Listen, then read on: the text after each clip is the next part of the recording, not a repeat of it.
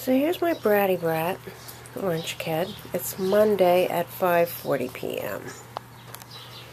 And he stopped at my office window to let me know he was coming around. And he's hungry today.